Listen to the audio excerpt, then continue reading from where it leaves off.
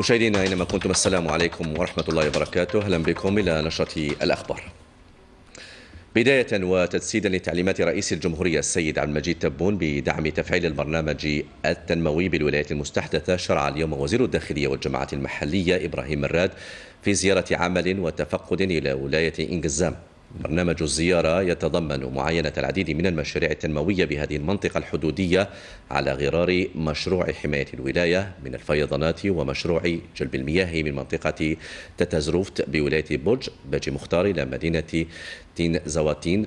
على مسافة 264 كيلومترا ومشروع إعادة تأهيل المركز الحدودي المختلط وكذا مشروع إنجاز الشطر الأخير للطريق الوطني رقم واحد على طول سبعة كيلومترات انطلاقا من النقطة الكيلومترية الصفر بين الجزائر والنيجر ومشاريع حيوية أخرى كعرض لمشروع الألياف البصري العابر للدول الإفريقية المجاورة ومشروع إنجاز مستشفى بطاقة 60 سريرا بكل من تنزاوتين وإنجزام البرنامج يتضمن أيضا زيارة لمزرعة فلاحية بمنطقة أدخخخ والمنطقة السياحية أراديغ ولقاء مع أعيان المنطقة وممثلي المجتمع المدني للاستماع لانشغالاتهم. في خطوة أولية لتجسيد برنامج الإصلاحات التي أقرتها الدولة أشرف وزير المالية إبراهيم جمال كسالي بالمركز الدولي للمؤتمرات بالعاصمة على مراسم التبليغ وتسليم الاعتمادات المالية لسنة 2023 تحقيقا للأهداف المسطرة.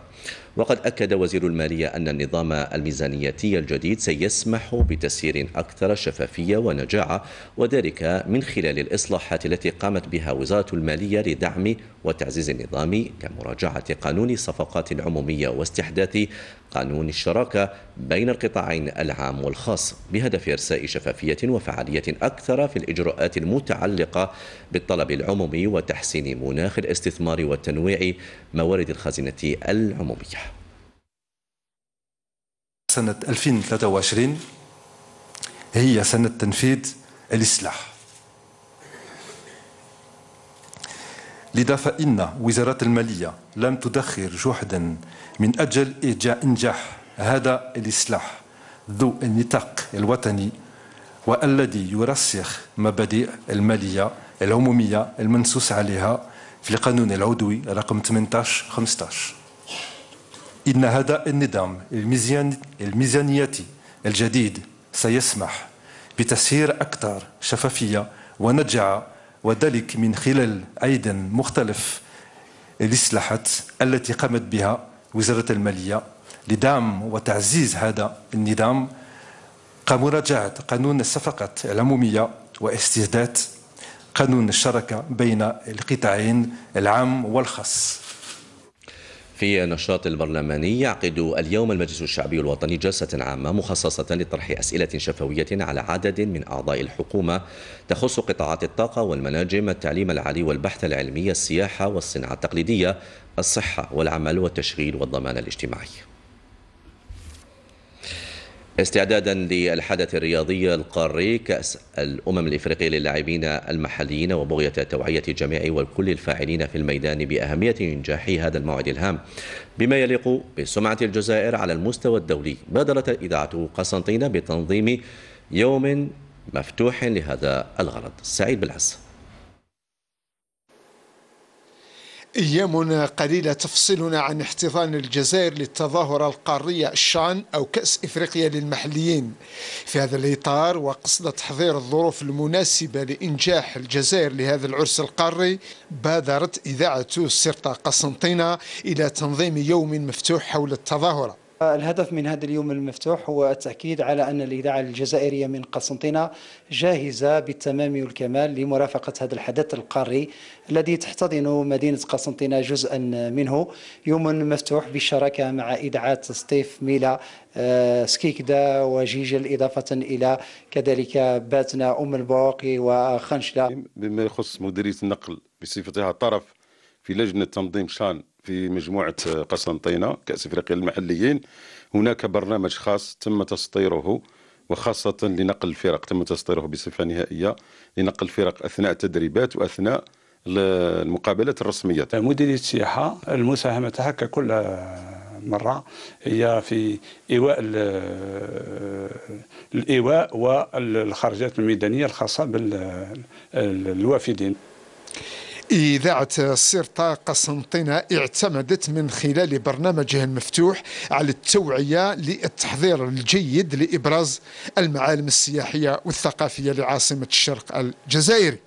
نحن متواجدون بملعب الشهيد حملوي بحلته الجديدة. أشكر إذاعة قسنطينة على هذه المبادرة وهي كذلك فيه فيه فيه يعني مجهودات اللي قامت بها ورافقتنا الإذاعة وكذا مؤسسه التلفزيون الجزائري. بشرنا في العمل آه، عندنا تقريبا شهر ونصف في 27 نوفمبر أتذكر. وبدينا العمل نتاعنا بتسجيل المتطوعين. للمناسبة أقيم استوديو في الهواء الطلق بملعب الشهيد حملوي الذي اكتسى حلة جديدة تليق بسمعة الجزائر. من ناحية يعني الكراسي ولا الأرضية الملعب ولا ليفستير ولا يعني راهي تحفة. الملعب تحفة تحفة كبيرة ودي فخر لمدينه قسنطينه نشير أن التحضيرات جارية على قدم وساق بمشاركة كل الفاعلين لإنجاح عرس الجزائر. في إطار مكافحة الجريمة بشتى أنواعها تمكنت الفرقة المتنقلة للشرطة القضائية بالدار البيضاء التابعة لأمن ولاية وهران من تفكيك شبكتين إجراميتين منظمتين في عمليتين متفرقتين متورطة في قضية ترويج المخدرات والمؤثرات العقلية. أسفرت العملية عن توقيف ستة أشخاص تتراوح أعمارهم ما بين 25 و 45 سنة من ذوي السوابق العدلية. حجز كيلوغرام و764 غراما من الكيف المعالج و1693 قرصا مهلوسا من مختلف الأنواع. 15 غراما من من نوع المخدرات الصلبة كوكايين وميزان إلكتروني. حجز مركبتين كانتا تستعمل في نقل وترويج السموم. دوليا وفي المغرب فضيحة أخرى تدوي في قطاع العدالة. احتجاجات عارمة بالرباط بعد الخروقات التي طالت امتحان الأهلية لمزاولة مهنة المحاماة وما شبه من تزوير وتلاعب في نتائج الامتحانات الشيء الذي أكدته التنسيقية الوطنية للأساتذة حاملي الشهادات العليا في خرجاتها الساخطة إلى الشوارع منددة بالوضع المخزي خاصة بعد توجيه سؤال إلى وزير العدل المغربي من طرف نائب بالبرلمان اتهم فيه بتزوير النتائج والمحسوبية التي أجازت أبناء السياسيين والنفوذ على حساب الممتحنين البسطاء وسط صمت مطبق وتجاهل رهيب للنظام المخزني المتغول. في فلسطين المحتلة استشهد فجر اليوم شاب فلسطيني وأصيب اثنان آخران خلال اقتحام قوات الاحتلال الصهيوني لمخيم بلاطة شرقي مدينة نابلس شمال الضفة الغربية المحتلة فيما اعتقل أحد عشر فلسطينيا خلال مداهمة قوات الاحتلال لمناطق متفرقة من الضفة.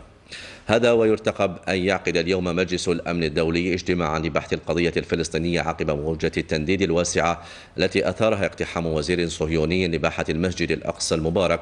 يحدث ذلك في وقت طالبت فيه السلطة الفلسطينية مجلس الأمن والمجتمع الدولي بضرورة وضع حد للإرهاب الذي يمارسه الكيان الصهيوني ضد الشعب الفلسطيني الأعزل والأماكن المقدسة. مشاهدينا إلى هنا نأتي إلى نهاية النشرة. شكرا على كرم الإصغاء والمتابعة. برامجنا مستمرة. في أمان الله.